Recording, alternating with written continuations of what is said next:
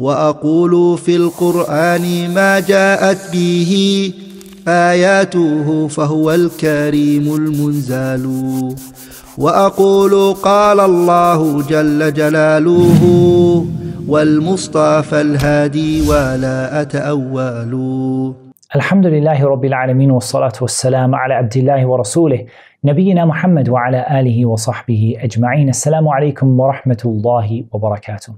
Welcome to another episode of this brand new series brought to you by Al Madrasatul Umariyah around the theme of the ayah وَقَالَ رَبُّكُمُ ادْعُونِي أَسْتَجِبْ لَكُمْ And your Lord said, call upon me and I will answer you. We actually in the previous episode alluded to a particular dua.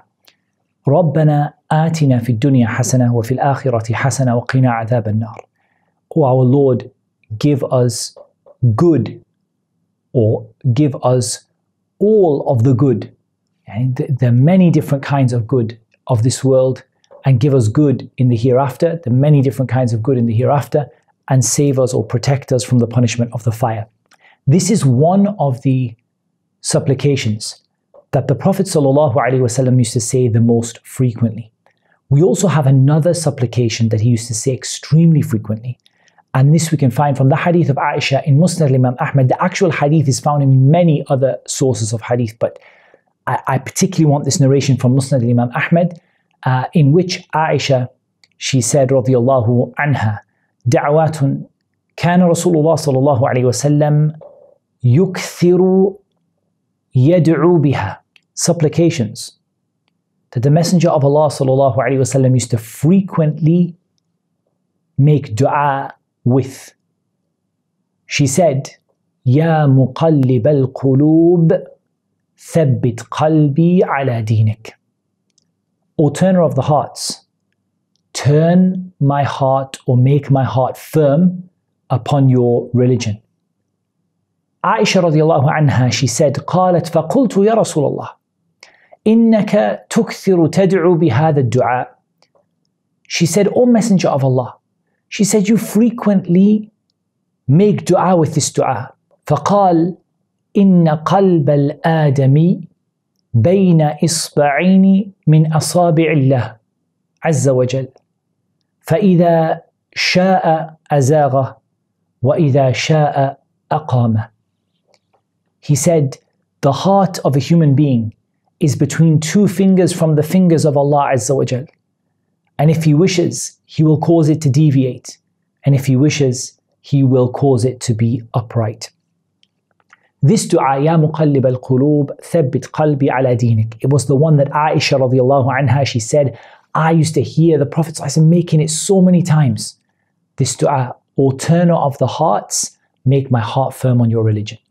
And this also shows us that our greatest concern and our, our biggest goal should always be to preserve our religion in terms of our worship of Allah Azza wa Jal alone. That's more important than anything we could ask for in the dunya. It's more important than any of the other dreams we might have for Allah Azza wa Jal to keep us firm upon the religion of Al Islam, to cause us to live by it, to cause us to die upon it. This is from the greatest, or from among the greatest of the gifts that Allah Azza gives to the servant in, uh, in this world. From the comprehensive supplications that the Prophet ﷺ used to make is a supplication narrated by Abu Dawood and At-Tirmidhi and Ibn Majah rahimahumullah ta'ala from the hadith of Abdullah ibn Abbas radiyallahu anhuma. He said, كان النبي صلى الله عليه وسلم يدعو the Prophet ﷺ used to make this dua ربي أعني ولا تعن علي وانصرني ولا تنصر علي وامكر لي ولا تمكر علي واهدني ويسر الهدى لي وانصرني على من بغى علي. اللهم اجعلني لك شاكرا لك ذاكرا لك راهبا لك مطواعا لك مخبتا إليك أواها منيبا. رب تقبل توبتي. واغسل حوبتي وأجب دعوتي وثبت حجتي واهد قلبي وسدد لساني وَاسْلُلْ سَخِيمَةَ صَدْرِي There are different versions or different wordings here and there, but the dua, broadly speaking, my Lord. Again, beginning with one of the names of Allah, Ar-Rabb, with Allah's rububiyyah, with Allah's tarbiyah, the fact that Allah nurtures you. we mentioned these before. My Lord, a'inni.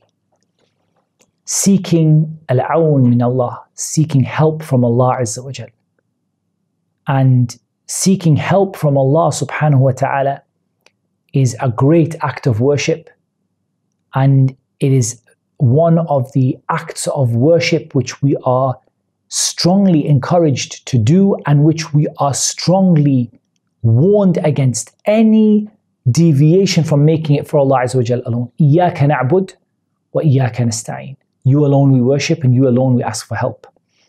And we ask Allah to help us to remember Him.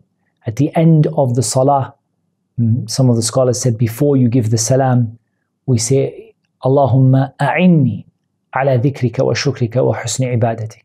Allah, help me to remember you and to be grateful to you and to perform worship of you in the best way. So, my Lord, help me and do not help against me. Do not help against me. And ultimately, if Allah helps a servant, there is nobody that can that can harm them or that can get in the way of their objective that Allah helps them in. And if Allah helps others against you, then there is no one that can help you. You have no wali, no one that can support you besides Allah subhanahu wa ta'ala. So we ask Allah to help us and not to help against us. Wansurni and give me victory. Wala tansur alay and don't give others victory over me. And Nasr, generally speaking, is victory on the battlefield. That's the usual meaning that it comes with. And it can be broadly or more broadly considered to be for Allah Azza wa Jal to give you victory in a broader sense. Wamkurli, wamkurli And plot for me. Wala tamkur alay, and don't plot against me. And Allah Azza wa Jal, the plot of Allah subhanahu wa ta'ala has to be understood correctly. Because plotting could be understood in a positive sense and it could be understood in a negative sense. The way we understand it about Allah is only in the positive sense.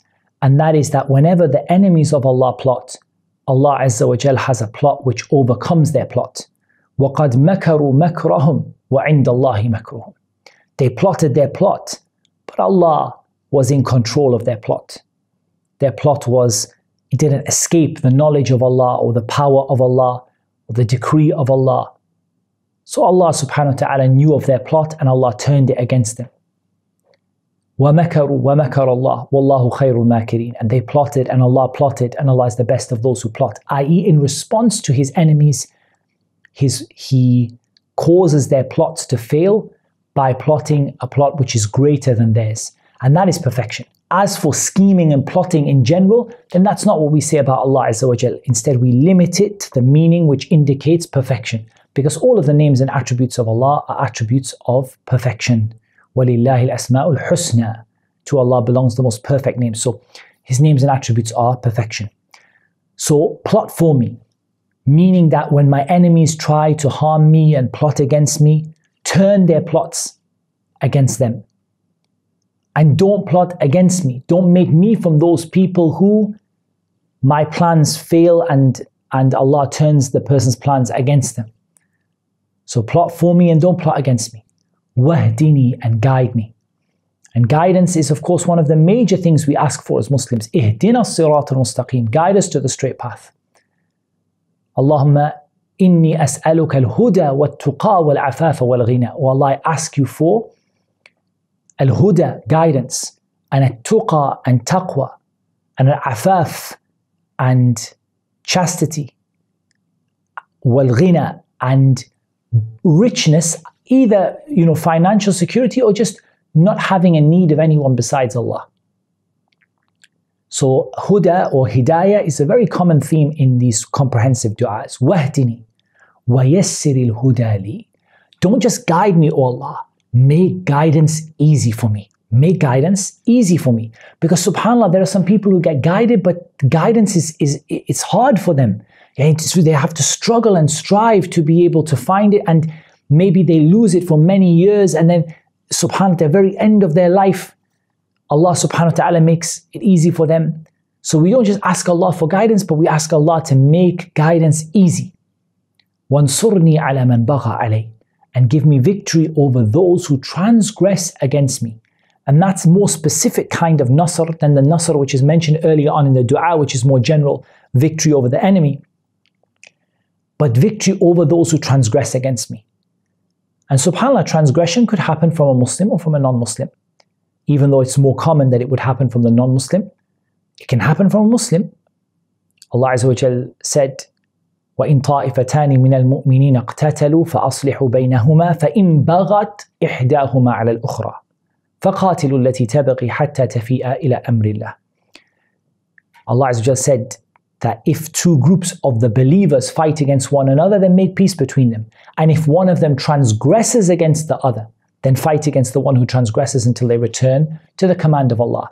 So transgression could also happen from the believers as well. We ask Allah to, to help us overcome other people's transgression. And when people transgress against you, whether that's bullying, whether that's you know the, the someone taking your rights and oppressing you, it's one of the hardest things to bear, right? It's very tough for a person to bear that. So you ask Allah to give you victory over those who transgress against you. Allahumma ja'alni laka shakira. O Allah, make me from those who are grateful to you. In some of the narrations, shakara, those who are extremely grateful. Laka dhakira, those who are always engaged in your remembrance. Laka rahiba, those who are fearful of you. Laka mitwa'a, those who are obedient towards you. Laka mukhbita, ilayka awahan muniba. Submissive towards you, repentant, turning towards you, turning back towards you in repentance. Lord, you ask Allah to make you grateful. وَإِذْ تَأَذَّنَ رَبُّكُمْ لَإِن شَكَرْتُمْ لَأَزِيدَنَّكُمْ وَلَإِن كَفَرْتُمْ إِنَّ عَذَابِي لَشَدِيدٌ And when your Lord declared that if you show gratitude, I will give you increase, and if you are ungrateful, then my punishment is severe. Make me from those who remember you. Make me from those who are fearful of you, obedient to you, submissive, repentant, turning back to you. Rabbi taqabbal tawbati. My Lord, accept my repentance. Waghsil hawbati. And clean my sins. Wa ajib da'wati. And answer my dua. Subhanallah, can you imagine that we actually ask Allah, we make dua for Allah to answer our dua. We make dua for Allah to answer our dua. That's how much we need Allah. We even need to ask Allah to answer our dua. وَثَبِّتْ حُجَّتِي And make my proof or my argument strong. And that has multiple aspects to it. One is that your actions are based upon hujjah, they're based upon dalil. One of them is that when you are explaining, whether it be explaining Islam to someone, whether it be uh, whether it be uh, explaining a position you've taken or explaining uh, a concept that you have hujjah with you. You have evidence enough to convince and enough for you to understand why you're doing something and enough to explain to other people when you are spreading the message of Islam. Wahdi qalbi and guide my heart. We've already asked Allah for guidance in this dua, but specifically for the heart. Guide my heart. Wasaddid lisani and correct my tongue. Remember the hadith of Mu'adh, does anything cause the people to be dragged along their faces into the fire except for the harvest of their tongue? Correct my tongue, make it right. Waslul sakhimata sadri and take away the, if you like, sakhimat al-sadr could be the enmity, all those bad kind of feelings that I find in the chest, like enmity and jealousy and all those kind of negative, horrible sort of feelings that fill a person's chest. Take away all of that, that enmity and perhaps even jealousy and all of those sort of negative and horrible feelings that a person has within them. And that is, a, there's an example of that in the Quran.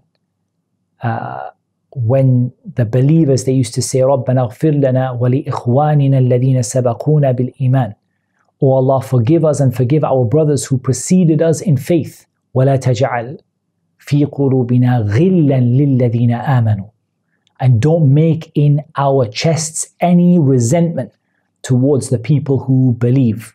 رَبَّنَا إِنَّكَ رَؤُوفٌ رَحِيمٌ Our Lord, you are the most kind and most merciful. So this is from the comprehensive uh, dua, supplications, that actually the scholars, they say that it contains 20 something requests, 20 something requests to Allah subhanahu wa ta'ala. And one of the most amazing things about dua, one of the most amazing things about dua is that when you make dua, the more you make and the more you ask Allah, the more Allah loves you. Whereas with people, the more you ask people, the more they dislike you and they get bored of you and they get tired of you. So never ever feel tired to ask Allah subhanahu wa ta'ala. Never feel sad to ask Allah subhanahu wa ta'ala. Because Allah Azza wa Jal loves for you to ask Him and Allah subhanahu wa ta'ala loves for you to beg Him.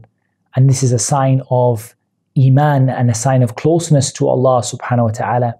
So at the end of the day, uh, this is something that we should be developing as part of our habit that we ask Allah as much as possible and we continue, we remain in a, a, regular state of calling upon Allah Azza for all of our needs, whether they are needs in this world or those of the hereafter. That's what Allah made easy for me to mention. And Allah Azza knows best. Wassalatu wassalam ala nabiyyina Muhammad wa ala alihi wa sahbihi ajma'in.